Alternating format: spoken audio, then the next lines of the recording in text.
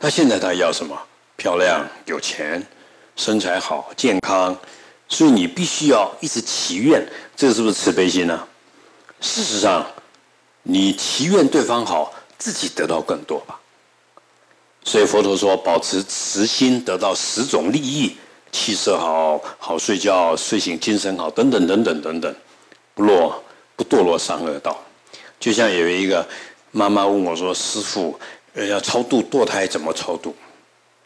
我说有一个方法，你只要看到女人走过去，哎呀，愿你母子平安。特别你看到怀孕了，哎呀，愿你胎儿平安。那个就是你对胎儿的悲心。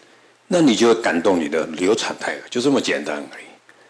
超度，感谢仁波切讲的很好。来，超度是慈悲，只要你有悲心，对方就可以超度。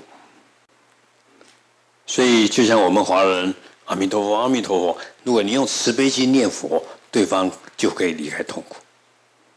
佛法没有高跟深的，佛法是一种心态的差别。所谓密乘。金刚乘，他讲的就是一种不间断的空心，不离开菩提心，可以这样说。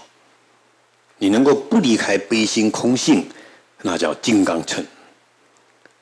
所以，而不是说我修了多少仪轨。所以，我想在这一点，各位千万不要用这个数字啊，或者他很会修多少仪轨来代表高跟低。就像那一天有人跟我说：“师傅，我请那位上师做一次超度啊，多少钱？”我说：“那你就不用去了，因为就算他把仪轨背起来，但是他他的动机是钱，那就不用去了，因为那个没有力量。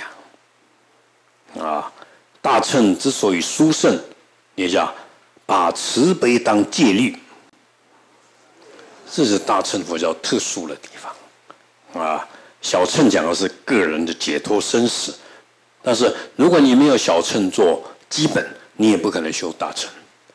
我问各位，各位生命苦不苦啊？生命苦不苦？苦，你为什么还在家呢？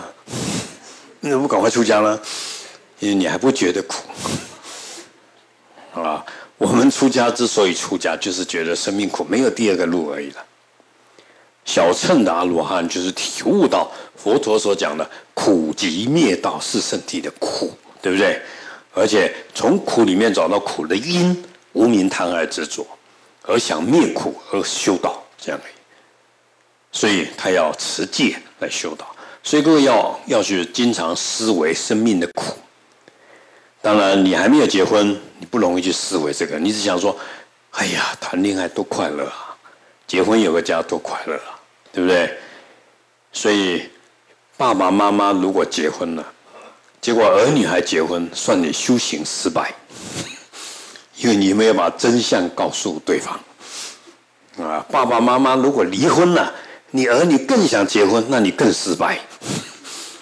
你已经痛苦了，你干嘛又把他推落苦海呢？那你就说，哎，这个年轻人嘛，我我不能跟他说，那你这样就是你你。你不负起责任，只能说他想要结婚谈恋爱，你必须告诉他很苦哦，你准备好了啊？就像你要去开刀喽，去吧啊！但是你要去试试看，可以。但是各位，你要一直提醒这个，要提醒这个。所以佛教最大的功德呢是什么？来劝人学佛，这个是。佛教最重要，劝进行者。观无量寿经最后一句话，劝进行者，你能够把你知道的，想尽办法去告诉别人。所以我常问各位，请问各位来住在美国，移民在美国的目的在哪里？你要回答：普度众生，要把佛法 传播到边地来，你要把改变你的动机来了。啊，因为这边实在很难呢。你看，现在做义里面都是我们华人，啊，华人有福报哎，认为佛法是很正常的。但是西方人实在不容易，啊，因为他的他没办法相信。就像我几个月前去法国，我去法国做烟供，他们问我干嘛要做烟供，我说供养佛以外，布施给鬼道。哎呦，那个会长呢？佛教会会长叫我不要谈到鬼，他们不相信有。我说你做会长呢？旁边人不要讲，不要讲，会长就是如此。啊，所以我说哦，原来我们像我们 Rock 会长就没问题，因为他是华人嘛。但是你用西方人，你要跟他谈这个，他很难理解这个。如果他很难理解这个，你就要去修悲心，他更难理解这个。所以各位对西方人要有悲心。哎呀，他们很难呢，啊，所以轮回的问题、业报的问题，对他们很难。他们需要有信仰，但是他把信仰当做一种心灵的享受，打坐。Meditation 啊，静静的啊，讨论那个道理这样而已。但是他不知道学大乘是悲心、微笑、拥抱、真心的对待你，而不是把那个道理拿来看。所以，那今天第一天晚上不能讲太严肃，讲故事好了，好不好啊？但是明天要受八关斋戒啊，调查一下。这辈子没有受过八关斋戒的举手，没有的，没有的，拜托你们一定要来哦！啊，一次受一次八关斋戒，六千六百六十岁不堕落地狱鬼道畜生道。啊，受一次八关斋戒，做一次皇帝，要不要做皇帝啊？啊，受。一次八关斋戒，六十万世的富贵，所以佛陀要我们，所以佛陀说了，百千万亿黄金布施，哦，福报很大，那不是功德，那是福报，但是不如在佛前供一杯水的功德，因为佛是无上福田，所以各位要经常供养三宝，所以每次我来佛坛看，庄不庄严？太庄严，一定要念这句话啊！这叫什么？水洗功德。看 看看，不不理他。所以你看到什么事情，你要升起哇！这个普法金刚坛城庄不庄严？水洗功德，了解吧？你一定要这样去，一直去水洗，然后说供养。这个水洗也是最大的供养。虽然花不是我们亲自带来，前前面的花庄不庄严？庄严啊！啊！水洗功德，那等于这个花的供养就是你的功德了。我们不是贪功德，我们是要把这个功德布施，希望连地狱恶鬼道都像极乐世界的花园一样，布施给他们。就像有人拿漂亮的花一束供养你，你快不快乐？快乐。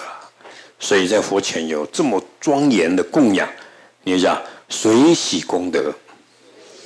所以我们做一下供养。那有人问我说：“师傅，晚上呢供养什么？”好在我是台湾来的，那边是白天。啊，地球是圆的，所以以为众生而供养，没有分白天晚上了。所以因为众生需要吧，我们替他供养，让他们有福报。所以来，所以把它讲完好了。所以百千万亿黄金布施，不如佛前供养的功德。再来，佛又说了：你把全世界的三宝都做成黄金，都做成大供养，无量劫的功德，福报大不大？大的不得了，不如守一条戒律的功德。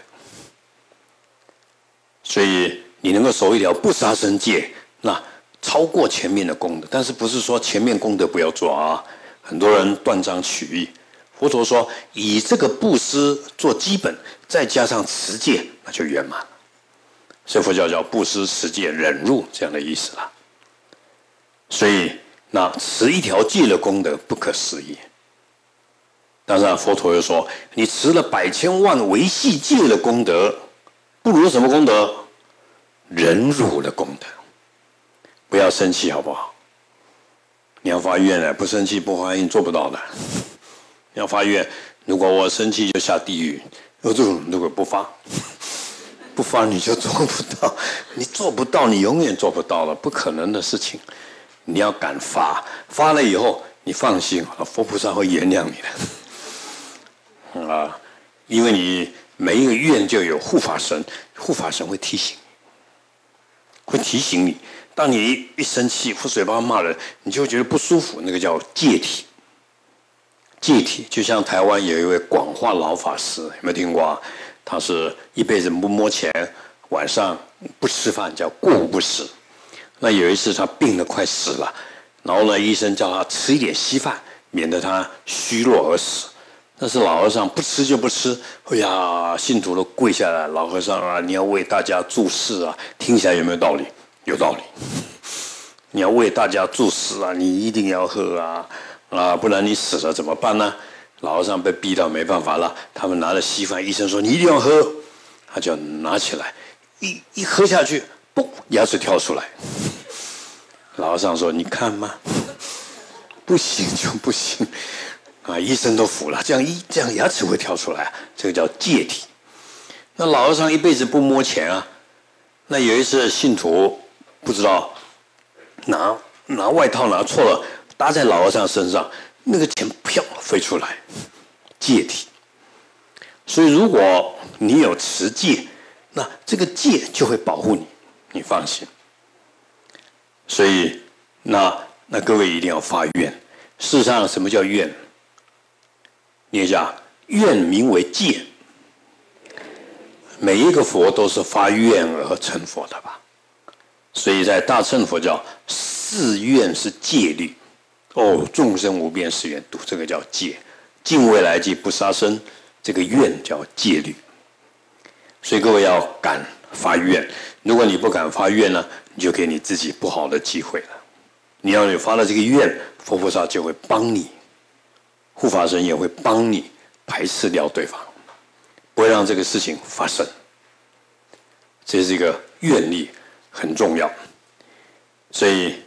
忍辱的功德超过于持戒，持戒的功德超过于布施，啊，当然佛陀最后讲了，来慈悲的功德包含一切，所以我们讲慈悲，所以你要以慈悲心去世间的布施也要，出世间的布施也要忍辱、持戒、禅定经，通通要，这个代表慈悲啊，但是你要圆满慈悲。要如何来体证空性？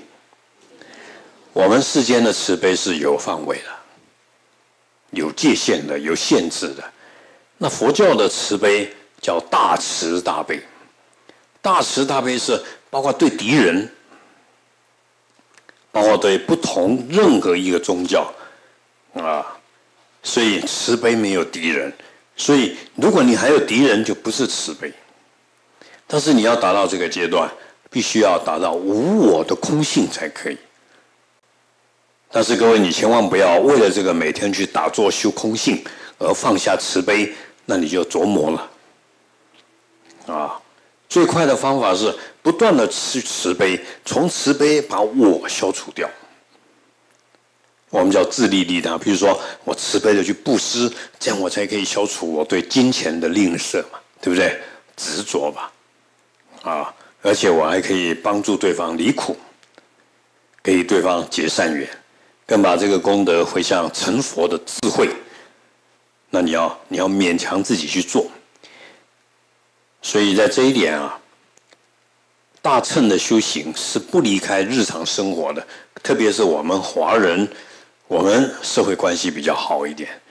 不过老实说，各位住在美国有点危险，为什么？他喜欢框框框框起来一个小王国，独家花园，啊，然后跟隔壁好像很少打招呼，这样慢慢慢慢个人主义强了，你要去慈悲就很难。